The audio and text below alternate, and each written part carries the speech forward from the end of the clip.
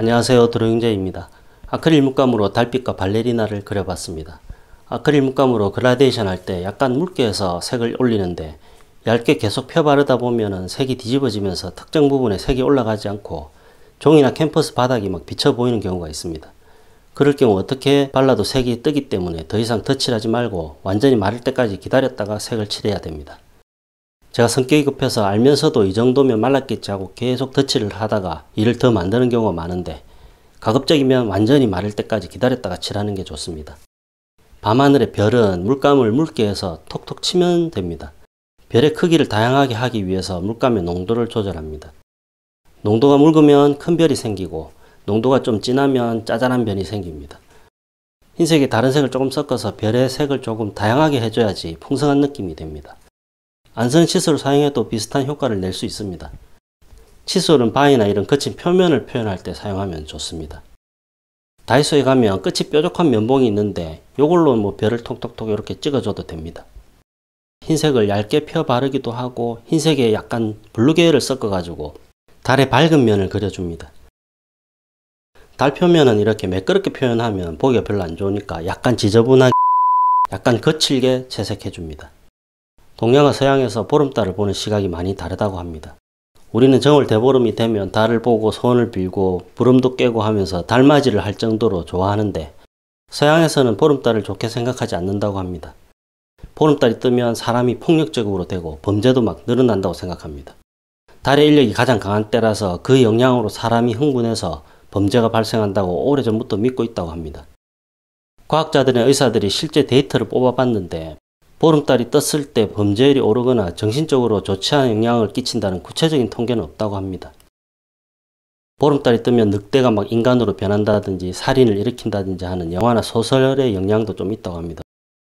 우리가 외출이나 서스펜스 장르에서 살인이 일어나는 장면에서 달빛이 많이 등장하는 경우가 많은데 그런 영향을 무시할 수 없겠죠.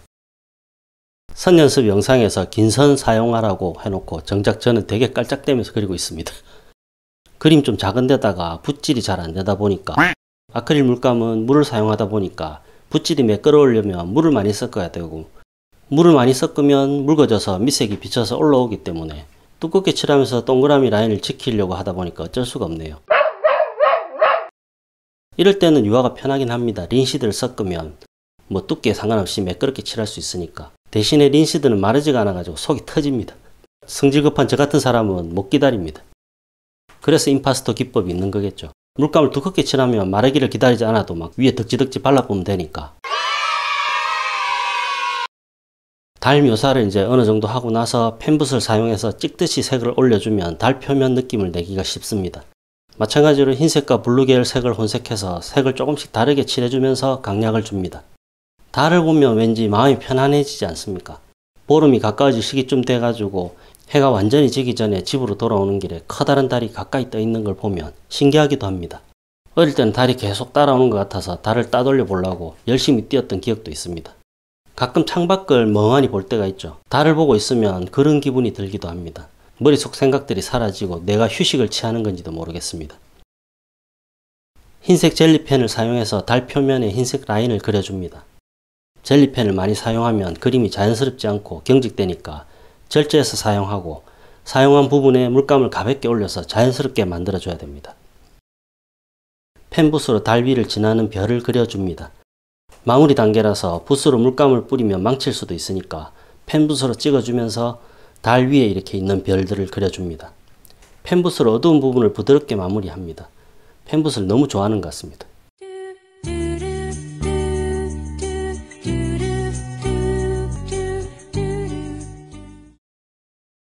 이제 어두운 부분을 정리합니다. 진한 색을 사용해서 깊은 부분을 만들고 중간색으로 부드럽게 해줍니다. 달 그리는 게 보기에는 간단해 보여도 은근히 일이 많습니다.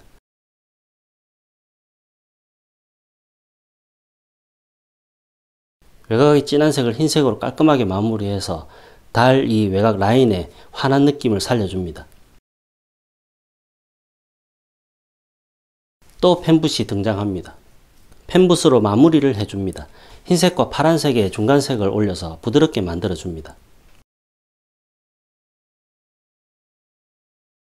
달 똥구멍 그리 달 밑부분을 그려줍니다. 아까 젤리펜으로 그려준 밑부분과 위쪽의 라인을 붓으로 자연스럽게 만들어줍니다. 발레리나는 검정색으로 그립니다. 똥색을 yellow ochre색과 brown 계열을 사용해서 달빛을 받는 밝은 라인을 만들어주면 입체감이 생겨서 좋은데 이번 그림은 달과 사람이 겹쳐 있는 부분이 많아서 밝은 라인을 생략했습니다. 밝은 라인을 그려봐야 어차피 달빛하고 만나는 부분에서 잘 표현이 안 되기 때문에 생략했습니다. 다음에는 달빛 역광 그림을 입체적으로 표현하는 것도 한번 보여드리겠습니다. 발레리나는 검정색으로 채색하니까 드로잉만 정확하게 하면 의외로 간단합니다. 근데 유튜브에 올릴 거라고 그림을 좀 작게 그렸더만은 드로잉하기가 힘듭니다. 그림이 작아서 눈, 코, 입 표현을 디테일하게 하지 못해가지고 조금 아쉽습니다. 머리띠도 그려야 되는데 아씨 머리띠가 어디지?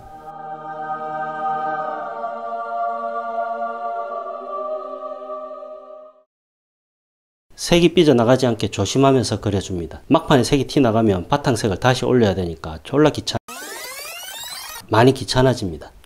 조금 두껍게 칠해야지 바탕색이 비쳐서 올라오지 않습니다. 발레리나의 역동적인 동작은 인체 드로잉을 공부하기에 정말 좋은 소재입니다. 대학 축제 때 무용과 학생들이 땅바닥에서 발레 공연을 하는 걸 본 적이 있습니다.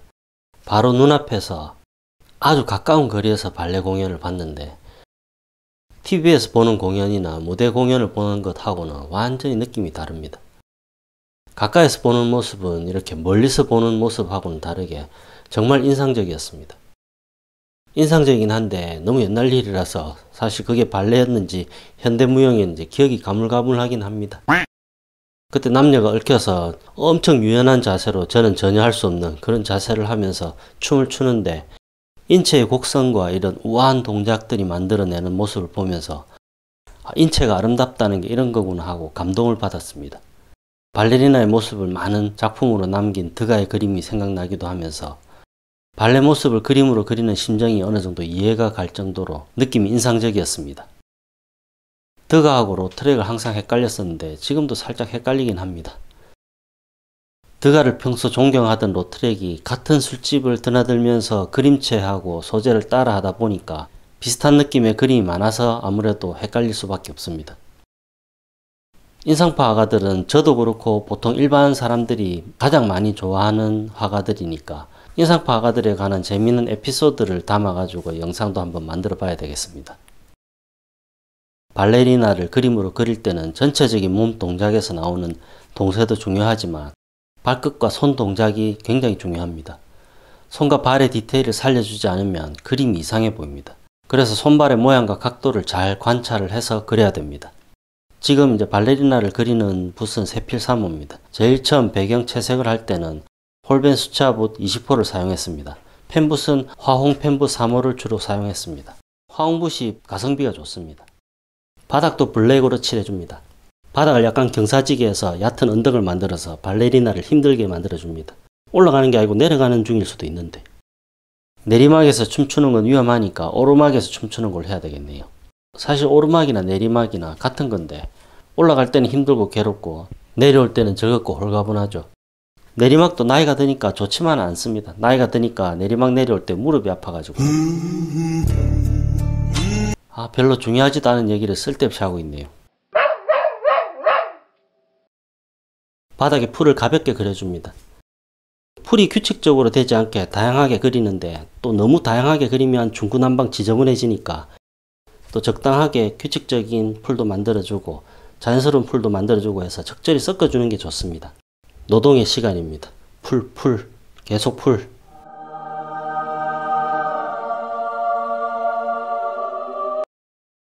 예전에는 풀밭에서 마음대로 누워서 놀고 쉬고 했었는데 요새는 풀밭에 누우면 큰일 나죠. 예전에도 뭐 유행성 출혈열 때문에 그렇게 안전하진 않았지만 그래도 흔한 게 아니었으니까 근데 요새는 살인 찐득이가 설치되니까 풀밭에서 마음대로 놀지도 못하는 세상입니다. 그리고 흰 바지 입고 풀밭에 앉으면 궁디에 자국 남습니다. 그러면 완전 똥 싼 것처럼 보입니다. No! God, please, no! 이상으로 달빛 발레리나 그림을 마치도록 하겠습니다. 시청해주셔서 감사합니다. 구독, 좋아요, 알림 설정도 부탁드립니다.